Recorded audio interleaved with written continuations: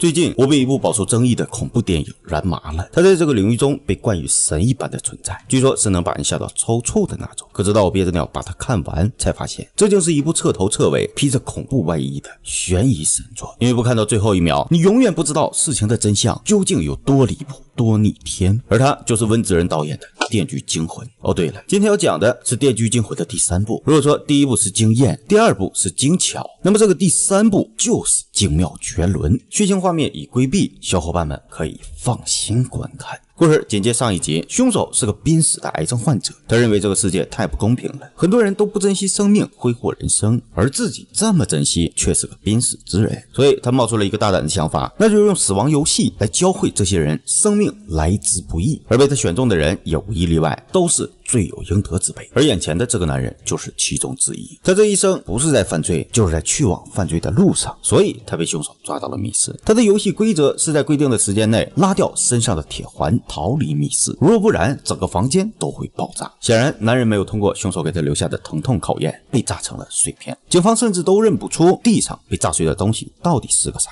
也根本不会想到这一切只是凶手留下的终极连环考验的开始而已。而负责此案的女警官正是在上一。集里被凶手设下计谋抓走的马修警长的搭档，而他也一眼就看出了这作案手法就是来自于连环密室谋杀案的凶手数据，可他却并不知道自己竟然就是下一位受害者。他看着凶手给受害者留下的逃出密室的线索录像，想要在其中找出点什么。他也不断的回想着马修警长和凶手离开后就再没回来过的事儿。显然，这次凶手的再次出现，就意味着马修警长已经凶多吉少。而细心的女警官也在以往案件中出现。的经历判断出这一次的机关明显截然不同，因为凶手数据以往都会给受害者留下逃出密室的线索，可这一次唯一能走出密室的门却是被牢牢焊死的，根本就没给受害者留下任何逃生的机会。难道说凶手不是数据，而是另有其人吗？突然，录像卡住了，卡在了一个画面上，而这个画面的角落正好就是他家的衣柜。而此时，自己也出现在了录像之中。于是，立马意识到情况不对的他，翻出手枪朝衣柜连开数枪。可衣柜里却只有一个摄像头，但在他的身后却冒出了一个头戴猪脸面具的神秘人。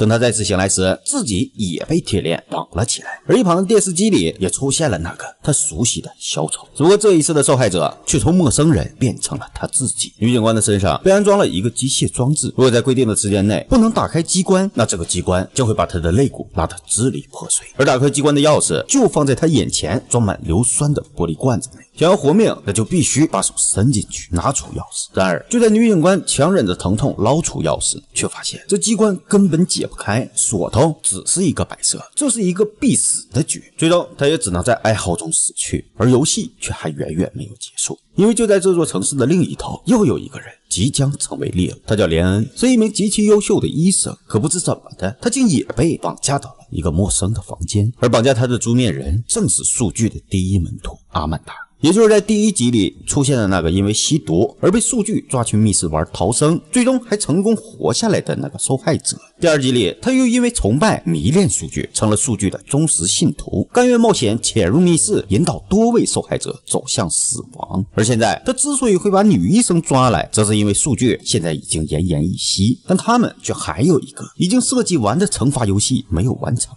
所以，为了保住数据的命，女医生必须为其做手术，延长数据的。寿命。如果数据的心跳停止，或者是女医生离开这里超过一定的范围，那锁在她脖子上的铁圈将会爆炸。不过，连恩医生也不是无辜的，他原本是有个好前程，医术也很了得。但最近他的生。活却被他过得浑浑噩噩，不但婚内出轨，不管孩子，甚至还对自己的病人非常懈怠，也就是违背了白衣天使的职责，也属于不珍惜生。命的范畴。所以，数据现在要和他玩一个游戏，保证自己不死，还要等待另一个游戏的参与者成功通过考验。他才能活下去，两者缺一不可。而另一个受害者就是这个被困在箱子里的男人，他因为儿子被人酒驾撞死，法院又没能真正的惩罚凶手，而变得自暴自弃，整天在买醉中度日，冷暴力自己的女儿，仇恨也让他无数次想要亲手杀死肇事者，所以他也属于浪费生命的范畴。今天他要接受考验，选择原谅过去，跟自己妥协，回去好好对待女儿，或者是报仇雪恨，痛快淋漓。游戏。开始，如果他在两个小时之内没能逃离这里，那这里的大门将会被彻底锁死。男人看着凶手给他留下的第一个线索。是打开前方的门，还有一张破碎的照片。年轻时的他笑得如此开心，显然是有一个美满的家庭。而下面还有一把钥匙，可来不及多想，他只能往前走。他看到了一个房间，里面是一个冰库，而他的面前也出现了一个被吊着的裸体女人。可突然，冰库的门被锁住了，他赶紧用刚刚的钥匙去救女人，可根本打不开。于是他又急忙去尝试开门，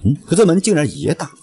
但角落里的录音机却引起了男人的注意。数据的声音也再次传了出来。原来这个女人就是他儿子发生车祸时的唯一目击者，但他却冷眼旁观，不出庭指证肇事者，以至于最后的判决对肇事者的惩罚微乎其微。而女人的身后就挂着两把钥匙，他可以选择拿到钥匙救下女人，也可以冷眼旁观，打开冰库的大门拯救自己。留给他的时间并不多，因为后方的管子随着喷水装置的触发也在不断移动。等达到一定的距离，那男人将一把钥匙也得不到了。最终，他选择了救自己的那把钥匙。可在女人的哀嚎声中，他却又起了怜悯之心。于是他又返回去，打算拿到钥匙救人，而这把钥匙还真的成功拿到了，根本就不像录音里说的那样，两把钥匙只能选择一个。可他浪费的时间太多了，女人已经被喷成了冰棍，而逃出冰库的他，也在第一时间又看到了一个线索提示：儿子的照片碎片出现在了他的眼前，下面还有一颗子弹，这预示着什么呢？另一边，数据因为病情恶化，已经濒临死亡，连医生也催促着必须去往医院进行开颅手术才能保命。听到这儿，阿曼达显然已经有些疯狂了。谁规定的做手术必须去医院？就在这里，在这里给我做！老娘什么工具都有，锅碗瓢盆、服务够差。女医生只能认栽，准备开颅释放压力，延缓生命。而另一边的男人也来到了第二个房间，这里很大，下面还锁着一个人。录音机里的线索提示则是说，这个西装男正是当年审理他儿子车祸案的法官。现在给他两个选择：一是在旁边的焚烧炉里是他真实的儿子的遗物；二是这些遗物里藏着解开法官的钥匙，是留下缅怀儿子的遗物，还是烧掉遗物找到救人的钥匙？可还没等男人来得及思考，一旁的机器就开始转动了起来。里面是一头头死猪被搅成血水，灌入了法官被困的地方，而焚烧炉也根本无法打开。如果再不救人，那法官将会被活活淹死。眼看情况越来越着急，再说法官也并没有多大过错呀。于是男人在第一时间烧毁了儿子的遗物，在最后一刻救出了法。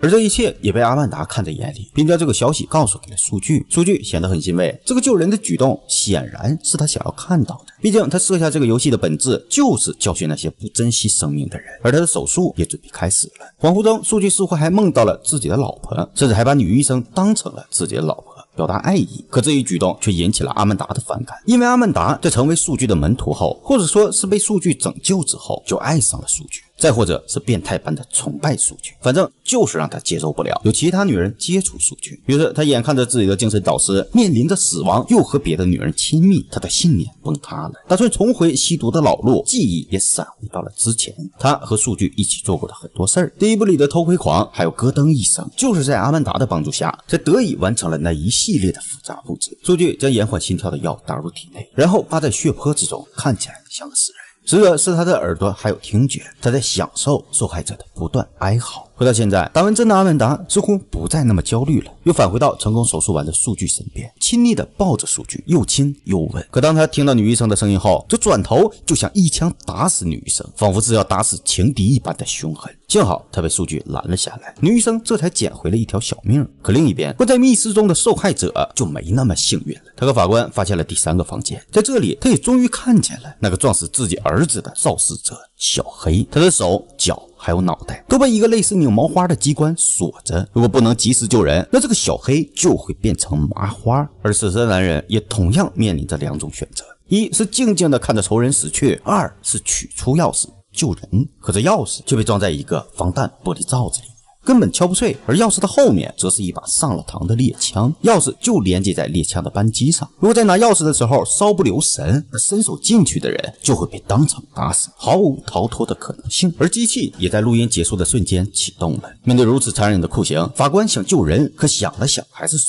毕竟这事和他无关，自己的命也是命啊。不过幸运的是，一旁只想复仇的男人却在哭喊声中看透了结构。他将钥匙从绳子上解开，成功取出了钥匙。然而，就在他放开绳子的一瞬间，一声枪响却正好不偏不倚的打中了法官。这一幕直接让男人傻了眼。等他缓过神来，准备救下小黑时，一切都晚了。他根本就找不到开锁的地方，也只能眼睁睁地看着小黑被一点点拧成麻花。而回到数据这边，他和女医生聊得正嗨，甚至直接抓起了对方的手，而这一幕却刚好又被进来的阿曼达看到了。他是来报告男人的第三关已经通过了测试。按照游戏规则，只要他完成测试，而连恩医生又能保住数据的小命，那连恩医生就可以离开这里。然而阿曼达却不同意了，彻底暴走的举起枪就要杀死和他抢男人的小娘子。可数据却告诉阿曼达，虽然你手上有枪，但女医生的命却和你紧密相连。决定阿曼达生死的人也是女医生。可此时的阿曼达却根本不懂其中的含义，也压根不想懂数据说的这些话，执意向连恩医生开了枪。但可就在此时，闯关。成功的男人却刚好看到阿曼达开枪打死了女医生，没想到男人竟然是女医生的丈夫。他看到这一幕，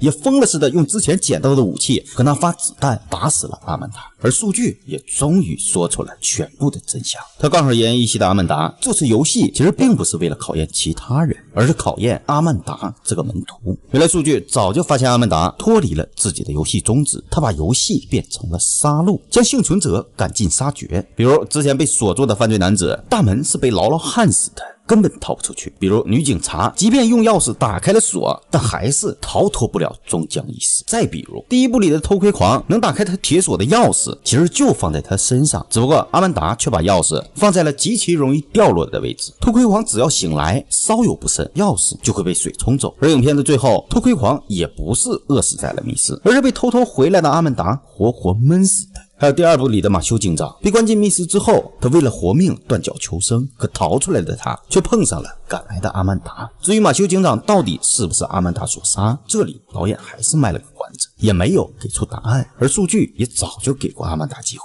比如他对女医生说的：“我想跟你玩个游戏，你会被考验，必须让一个人活下来。”其实都是在对阿曼达说。只是阿曼达浑然不知，根本就没往那边想。现在数据也深知阿曼达不可能成为自己的门徒了，因为他控制不了自己的情绪，也就遵守不了数据的游戏规则。虽然数据的游戏很残忍，但同时也给了受害者一次机会和教会他们如何珍惜生命。可阿曼达却选择了杀戮，没有通过数据的考验。而刚刚数据摸连恩医生的手，其实也是在刺激阿曼达，测试他能否放过女医生。放了则测试通过，否则一切结束。到这儿，逃出来的男人知道了，数据才是一切的始作俑者。他拿起枪，准备要了数据的命，可数据却告诉男人，如果他杀了自己，不仅不能让他的儿子复活，还会害死自己的家人。男人没有信数据的鬼话，选择扣动扳机，可枪里却早已没了子弹。数据也再次提出了要和男人玩个游戏：一是男人放过数据，他妻子还有一口气，数据可以在几分钟之内就叫来一个救护车，救下他妻子的命；二是男人贪图一时之快。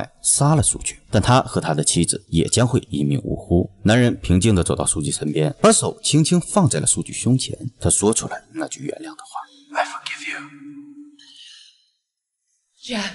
没想到被仇恨冲昏头脑的他，竟然转头就抄起了电锯，大喊着“原谅你妹”，直接划死了数据。数据因为自己的过度自信，付出了血的代价。可男人的妻子却因为只剩下半口气，根本就说不出数据的心跳一旦停止。那连医生的头将会原地爆炸。此时，所有大门突然被锁死。数据在临死前也再一次拿出了一个全新的录音机，里面依然是数据的声音。男人也终于知道了妻子的头将会原地爆炸，而作为他失败的惩罚，则是他的女儿也在一个不为人知、氧气稀薄的地方关押着，位置只有数据知道。可一切都晚了，数据死了。只留下崩溃的男人发出了绝望的嘶吼，他也将永远被关在这里，直到死亡。